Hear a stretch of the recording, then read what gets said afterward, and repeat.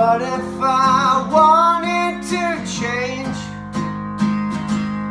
Do you think I could be saved?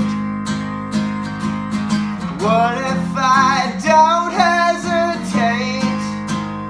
Could I restart, start today?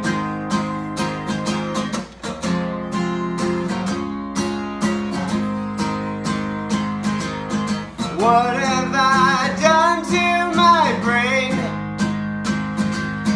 What was I hoping to gain?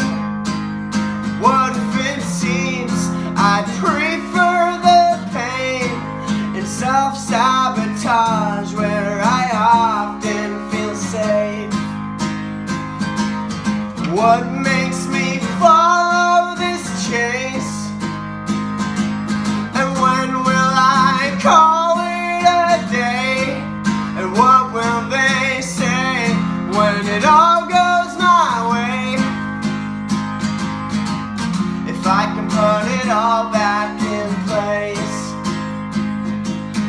Cause